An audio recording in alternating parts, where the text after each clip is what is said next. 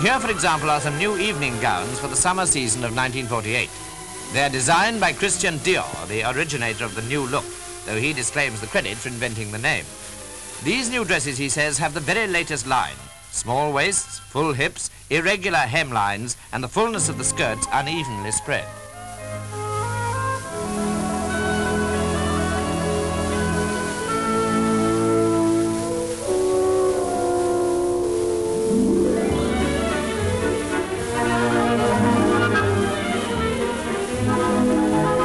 The new line is called Envol, or Fly Away.